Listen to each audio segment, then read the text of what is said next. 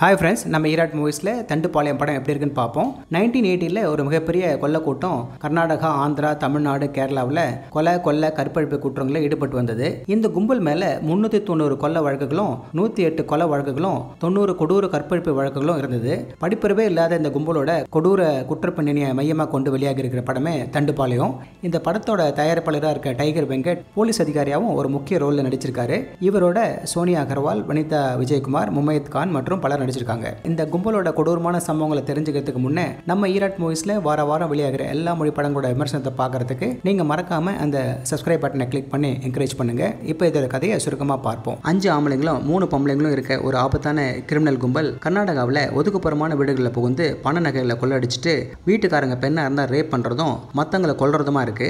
இந்த கொலபாதக ஆசாமிகளுக்கு அரசியல்வாதிகளோட தயவும் ஒரு கிரிமினல் ஆயிரம் பின்னாடி இருக்கிறதுனால இவங்களை பிடிக்கிறது கஷ்டமா இருக்கு. ஆனால் ஒரு நாள் பிடிபடுறாங்க. ஜெயிலில் அடக்கப்பட்டு மரண தண்டனையும் கிடைக்குது. இருந்தாலும் சீக்கிரமாகவே இன்னொரு கும்பலை பற்றி நியூஸ் பரவுது. அதுவும் இதே போல ஸ்டைலில் அராஜகம் பண்ணுது. இது போலீஸாருக்கு தீர்க்க வேண்டிய இன்னொரு மர்மமாகவும் இருக்கிறத சொல்றது. ஒரு ஜேர்னலிஸ்ட் இந்த கேஸை க்ளோஸாக ஃபாலோ பண்ணும்போது சில சந்தேகங்களை கிளப்பி விடுறாரு. இப்படியே கொலைங்க குறையாம நடக்கிறதால ஒரு சிறப்பு அதிகாரி நியமிக்கப்படுறாரு. அவரும் இந்த ஆபத்தான குற்றவாளிகளை பிடிக்க பிளான் பண்றாரு. அந்த பிளான் படி அதில் அவர் ஜெயிச்சாரா? மொத்த கும்பலையும் பிடிக்க முடிஞ்சதா என்பது தான் இந்த படத்தோட மீதி கதை. உண்மை சம்பவங்களை அடிப்படையாக கொண்டது இந்த படம். பரதாப்பட்டு தெரியாதவங்களுக்கு உதவுறதும் பக்கத்தில் யார் இருக்காங்கன்னு பார்க்காம வீட்டில் தனியாக இருக்கிறத பற்றி நகை வாங்கிக்கிறத பற்றின்னு கொள்ளடிக்க தோதா விஷயங்களை கசிய வர்றது எப்படி ஆபத்தா முடியும்னு அறியாத மக்களுக்கு மறைஞ்சிருக்க ஆபத்துங்களை சொல்ல முயற்சிக்குது இந்த படம். அந்த வகையில் இந்த படம் நிச்சயமாக உங்களை ஒரு உஷார் நிலைக்கு கொண்டு வர படம் தான். ஏன்னா இது போல குற்றங்களும் கும்பல்களும் காலப்போக்கில் திரும்பவும் எப்போ வேணால் நடக்கலாம்னு எச்சரிக்கப்படுத்துது. இது மூலம் சமூகத்தில் தனியாக இருந்தால் ரொம்ப விழிப்போடு இருக்க வேண்டிய முக்கியத்துவத்தையும் வீட்டு சேஃப்டி விஷயங்களையும் கவனமாக இருப்பது பற்றியும் இது எடுத்துக்காட்டுது. முதல்ல வர சில ஃப்ரேமிங்லேயே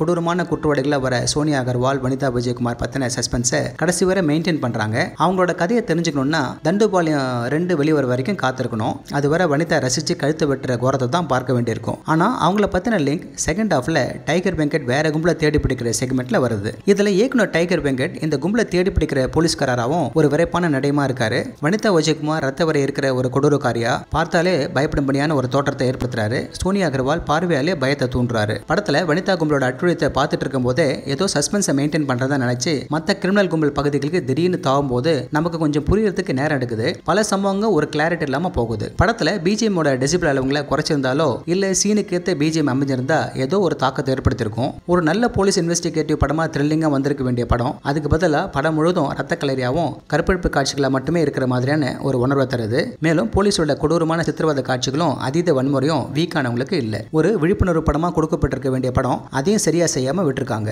கொடூரமான குற்றப்பணியினரை பற்றிய ஒரு சுமாரான படமாகும் ஓகே ஃப்ரெண்ட்ஸ் இதே போல இன்னொரு சுவாரஸ்யமான பட விமர்சனத்தோடு சந்திக்கிறேன். இந்த விமர்சனம் உங்களுக்கு பிடிச்சிருந்துச்சுன்னா உடனடியாக லைக் பண்ணுங்கள் ஷேர் பண்ணுங்கள் நன்றி.